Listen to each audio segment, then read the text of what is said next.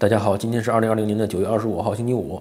我们之前呃报过啊，美国等于抓了这边呃就是四个，就是说还有什么唐娟啊，呃这个这个姓胡的叫胡海洲啊，还有一个叫什么，反正反正一共抓了四个吧。这种中国就是说跟这个就是说中国军方的大学有关系的这些人啊，认为他们是间谍。那现在有一个人呢，现在呢这个沉冤昭雪被释放了啊。然后这个人呢，他呢还是被他的导师检举揭发的啊。《华尔街日报》报道啊，说美国检方撤销了对弗尼弗吉尼亚大学叫胡海洲，当然这是音译啊，他的这个刑事呢指控，说呢他是北京航空航天大学下属一家呢军方资助的实验室呢工作的一个工作人员啊，他研究的领域呢是水下的机器人儿。检方指控呢，他窃取了弗吉尼亚大学的导师开发了二十年的专有的软件代代码，他的导师呢也是一个中国人，导师的名字呢叫董海波，也是呢这个音译，好吧。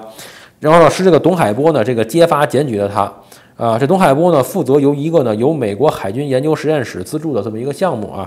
那他这个导师董海波呢，认为这个胡海洲窃取了他所开发的软件的源代码，并且呢不辞而别，说跟谁也没说，偷偷自己呢就是说买了张飞机票就要跑，认为他呢可疑，向 FBI 呢举报。然后 FBI 在机场呢把这胡海洲呢抓回来了。抓回来之后呢，果然在胡海洲的电脑当中呢发现了董海波称为呢被窃取的软件的软件的这个源代码，的确呢是有啊。那董海波呢说说胡海洲曾经多次向他索要这个代代码，但是呢被他拒绝，不知道胡呢是怎么弄到手的。那么 FBI 呢也也最后呢也没有办法呢知道胡的电脑中怎么有这些代码，胡呢自己也也也不说啊。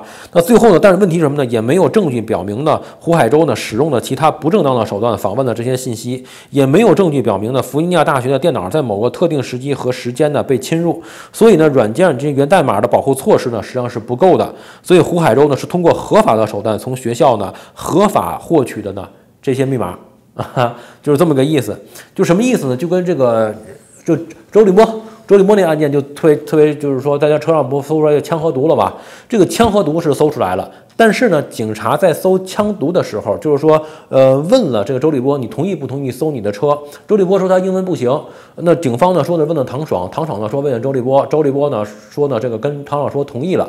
那如果这个就是当时唐爽就变成一个这个关键证人了。唐爽如果说对周立波，我跟他问他，他说同意了的话，那周立波就有罪了，就跑不掉了啊。那么唐爽呢在当时呢还是帮了周立波的。唐爽拒绝没有出庭，拒绝出庭作证。那唐爽躲开了，什么也没有说，那就。警方呢就没有办法证明呢周立波呃是同意了的，所以呢枪和毒不是说没有，只是说呢从程序上来讲，就是打了的就是程序正义。从程序上来讲，你拥有这个枪和毒，我拿到这个证据的，我的手段呢不合法，那么最后呢我就只能放你走了。就是美国不就打这这个以前那个辛普森杀妻案不也是吗？说这美美美国呃警察检拿到他那个血样证据的时候，好像有一个什么操作措施不合法，然后那个证据就关键证据就不能够够作为呈堂证供了，就是他们专门打。这种就是，就是说呢，我拿到源代码了吗？拿到了，但是你能不能证明我是非法拿到这个源代码的呢？就没有办法。美国这地方呢，它就是就是防小人不防君子，你知道吗？所以呢，那那那那那那怎么办？如果是一个小人呢，他就有很多很多的方法。你像你说的这，你就想想。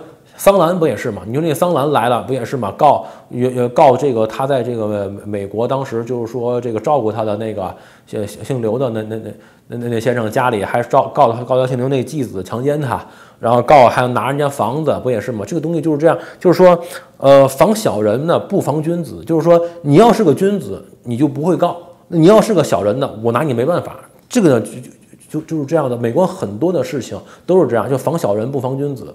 你知道吗？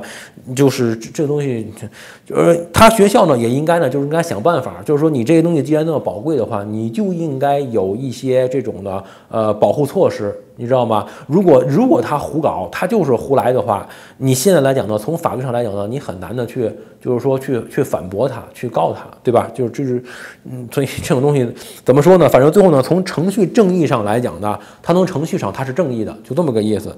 所以胡海洲呢，请到律师，律师说说这个信息呢，如果是机密的话，那么你们学校就应该要有相应的呢保密措施。如果你们学校没有保密措施，那么这个机密信息被别人获取了的话呢，那你不能说是。别人偷的，对不对？你所以呢，这东西呢是不构成刑事罪的。他拿没拿？他拿了，但是由于你没有相应的这种保护措施，所以呢，你也没法说他是偷，就就就 就就就就这种。那最后检方呢就决定呢就撤诉。那么胡海洲呢现在被释放，现在已经呢呃回国了啊。反正打了呢，他的律师还是很聪明，我想打了一个程序正义，就是这东西我拿了，但是呢我不是偷的。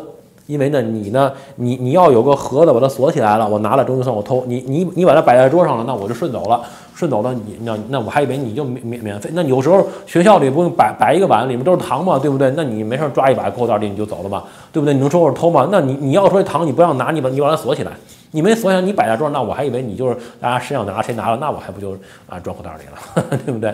他他他他他这么搞耍耍过来，你知道吗？就真的就跟就跟以前那个。哎，就所以呢，就是怎么算啊？就不不不举例子啊，就就说这个事儿。所以美国呢就这样，防小人不防君子。你要是个小人呢，有的时候只是也是就是真没辙，就这么一个情况，好吧？那不管怎么着吧，恭喜他啊，找了个好律师，呃，找了一个非常好的理由和借口。那现在已经呢拍拍屁股回国了。然后唐娟他们那几个呢，恐怕还要再想办法。啊，那看看美国这种东西就这样了。你这个打打这个罪，我看你是够呛的。基本上现在都在想办法呢，打这程序正义。周立波不也是打这个程序正义嘛？就都是都是这样子。呃，我呢想说什么呢？我觉得在这种情况下，其实有的人就觉得哈，就笑话美国，说哈哈哈，你看你搞了半天说我们是间谍，最后你就拿不出证据来吧，对不对？你看你你你你们就是胡搞吧，对不对？就是一个笑话吧。我觉得呢，你应该这么想这个问题啊。如果在中国，就是说我抓了你，比如说中国现在抓了加拿大两个人，一个就是 Michael，一个叫康明凯，对吧？抓了，对不对？那么你有没有罪，跟你的律师没有关系。Michael 和康明凯也想像胡海洲这样，我有我雇个律师来，我给你打打程序正义，你的你你的证据拿出来，我看看你你获得证据合法不合法？你要不合法，我就说你的获得证据不合法，你就得送我走，对不对？可能吗？不可能的。在中国就是这样的，就是说我说你有罪，你就有罪了，你不用找律师来跟我打。知道吧？你的律师把天说下来，你有罪你也走不了啊！现在康明凯和 Michael 就是被抓了，抓了之后呢，我也不知道到到底他他们想怎么审怎么判，也不知道，像把关了两年了，对不对？其实谁都明白，我觉得傻子都明白，为嘛是抓这个康明凯和 Michael，就是因为你们抓了这个孟晚舟了嘛，对不对？我就我就我就抓你康明凯和 Michael，我没有法律，我也不需要律师，你不用来跟我矫情，我抓了你就是抓了你。中国就是，如果你有美国留学生在中国，如果现在想抓你，我抓了你。你就一定会被定罪，你一定会被判刑。怎么判？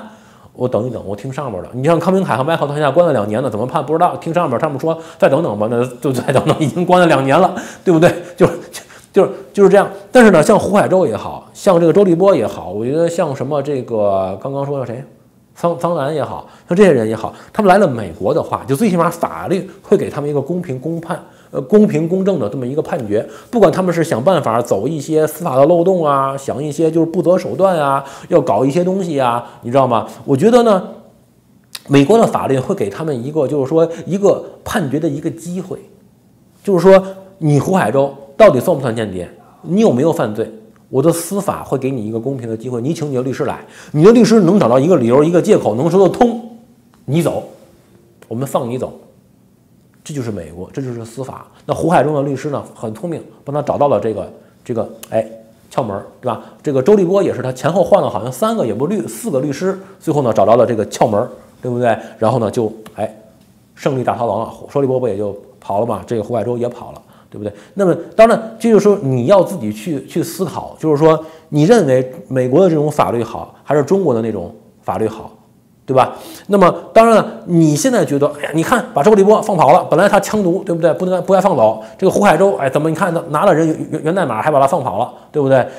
然后桑兰那时候得没得到赔赔偿？我想不起来了。反正甭怎么着吧，可能还可能多多少也也赔了点儿，好像还是赔了点钱。我记得也不，他也也也挺惨嘛，对不对？就是你看还是赔了点钱。你在中国的来讲呢，就像周立波这你就走不了了，对不对？你周立波你要在中国，你开着车是。这，车上搜出来什么？他他那搜出来冰毒是吧？搜出来冰毒，再搜出来枪，你就不用说了。我他你还跟说什么？警察没问我许不许搜车，滚滚！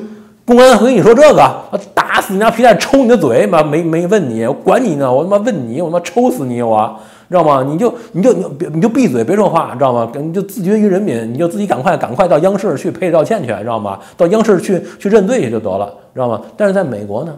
他就可以打这场官司。